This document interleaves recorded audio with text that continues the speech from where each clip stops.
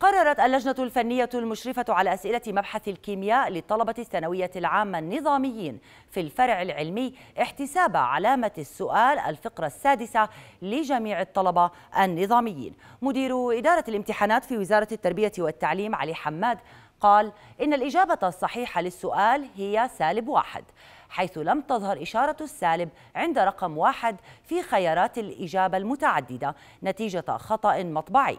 مؤكدا أنه تقرر احتساب علامة السؤال لجميع الطلبة حرصا من الوزارة على ضمان حقهم.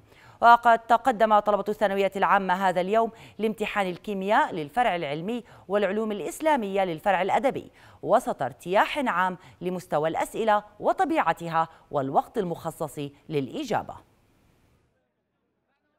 اليوم كان لنا امتحان كيمياء للعلمي. آه، كانت المادة يعني بسيطة.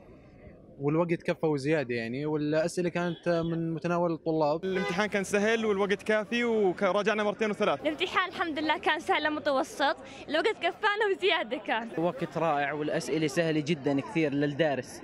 الوقت برضو زيادة طلع معنا والأسئلة كثير رائعة وجدا سهلة. الوقت كان كفاية وبكفي بس في فرع ستة للنظاميين كان فيه غلط. الإجابة تعيته مش موجود بين الأسئلة مش موجود بين الأجوبة يعني. الأسئلة كثير سهلة سهلة جدا.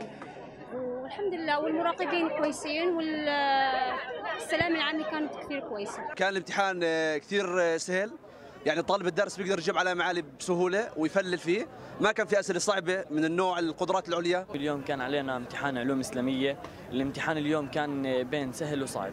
بس الحمد لله إنه كان يعني للطلاب الدارسين سهل. الحمد لله امتحان 100 100 الحمد لله.